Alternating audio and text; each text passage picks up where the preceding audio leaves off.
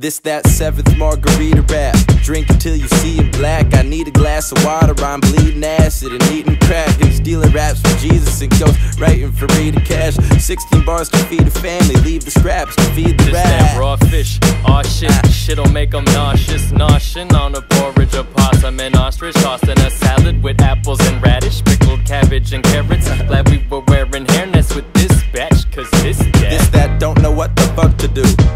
Bottles of bubble juice and smash them on your next door neighbor's porch just for the W, uh. Save a dragon from a princess and train him to burn your boss's building down to smithereens for entertainment. Just that tortas and tortellinis, Porsches and Lamborghinis, four courses, foie gras, wines French or Spanish. Organic horchata brought from our forefathers mixed with horseradish and Worcestershire sure, sure sauce. that ratchet sriracha with hot Cheetos and Fritos.